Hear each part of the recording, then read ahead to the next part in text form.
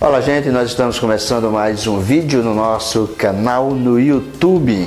Eu sou Didi Galvão e esse é o nosso canal. Olha, hoje, quarta-feira, 16 de setembro de 2020, é o prazo para realização das convenções municipais.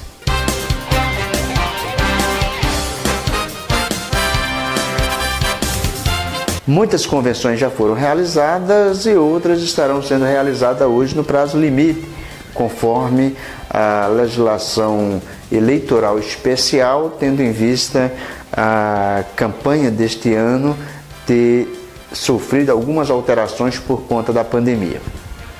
Na terça-feira, dia 15, nós tivemos convenções em Lagoa Grande, para o candidato Henrique Diniz, do Democratas. Nós tivemos convenção em Petrolina para o candidato à reeleição Miguel Coelho, candidato do MDB. Nós tivemos convenção em Santa Maria da Boa Vista para o candidato Humberto Mendes, PSB, também candidato à reeleição. Nós tivemos convenção ainda em Salgueiro para o candidato Clebel Cordeiro, candidato à reeleição pelo PL. Ontem, lá em Santa Maria da Boa Vista, a convenção de Humberto Mendes foi marcada por emoções. Prefeito considerado pela sua capacidade de humildade, pela sua capacidade de articulação, pela sua capacidade de aglutinação, e também pela sua capacidade de diálogo.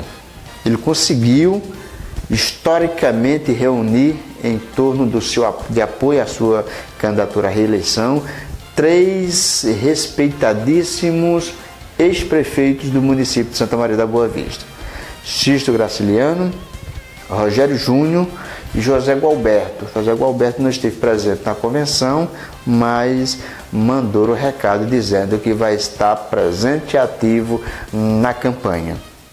Quem mandou o vídeo manifestando apoio à candidatura de reeleição de Humberto Mendes foi o governador Paulo Câmara e o ex-presidente Luiz Inácio Lula da Silva. Ambos gravaram vídeos de apoio à candidatura de reeleição de Humberto Mendes, tá bom? Só lembrando que no dia 26 de setembro encerra-se o prazo para registro de candidaturas.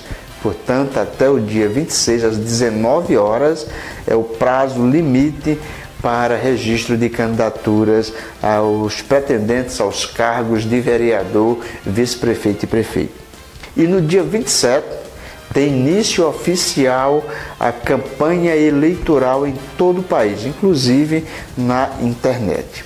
Portanto, minha gente, fica atento, tudo está indo em caminho do fortalecimento da democracia e a participação sua é muito importante. Enquanto isso, nós do blog do Didi Galvão, através dos nossos canais nas redes sociais, YouTube, Facebook, Instagram e também no blog do Didi Galvão, estaremos atentos, acompanhando para levar as informações até você. Continue nos acompanhando.